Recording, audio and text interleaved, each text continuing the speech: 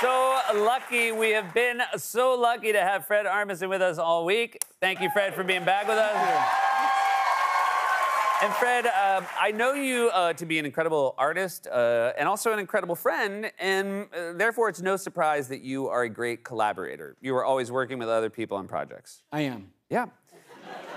and this is really cool. Our first guest, Kristen Wiig, is a dear friend of, of both of us. But you and her are opening a new museum. We are.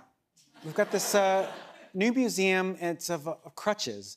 It's a crutches museum. Okay. And um, what we're gonna have is like we're gonna have actors there, like you know, with crutches, so you see how they worked. Okay. So you didn't want to just have like the crutches on the wall. You wanted to have actors showing people. Yeah, just so this way it's more interactive, and you could ask them what ha- you know what happened to you, and then they go, well, I had a skiing accident, uh, or what you know, whatever. So each story changes from.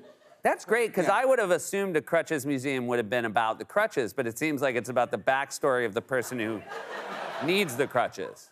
To a degree, yes. Yeah.